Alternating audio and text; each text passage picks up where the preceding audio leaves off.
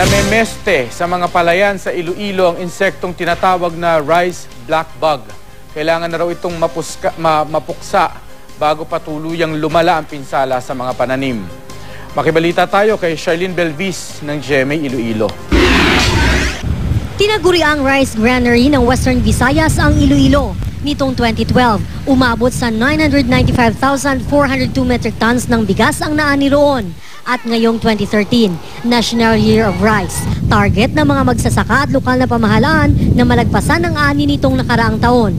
Pero nanganganib daw mapurnada ito kung hindi mapipigilan ang pagdami ng mga black bugs sa palay. Ayon sa municipal agriculturist ng Leganes, inatake nito ang mga palay habang nasa vegetative stage pa. Sinisipsip nito ang tubig sa palay, kaya nangangalahati na lang o wala ng laman ang mga butil kapag naani. Sa Leganes, mahigpit na binabantayan ang mga sakahan dahil sa naturang peste. Apat na barangay na ang apektado. may aragid man sightings. Pero jutay lang siya.